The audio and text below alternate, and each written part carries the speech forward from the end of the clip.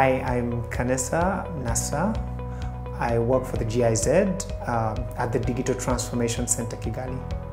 It was put together between the German corporation, the implementing agency, which is also known as the GIZ, and the Ministry of ICT in Rwanda. So in a heartbeat at this center, we usually have uh, a bunch of tech startups and companies, and then we help them meet government institutions, and then we do a little bit of problem analysis there. On other days, we usually have hackathons, design challenges, meetups. We have a virtual reality and augmented lab where they can prototype.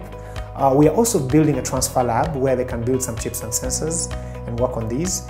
And currently, we are also providing a couple of trainings in artificial intelligence and machine learning and IoT. We've tried to create facilities that enable tech companies in the region to tackle the kind of problems that we are dealing with.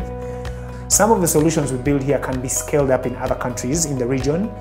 Uh, some of the solutions we build here can also give the Rwandan economy a fighting chance because Rwanda is pushing something called the Smart Rwanda Master Plan to move the economy from an agriculture-based subsidy into a tech economy. So in a heartbeat, the Digital Transformation Center is a place where things happen. I'd say I'd call it that.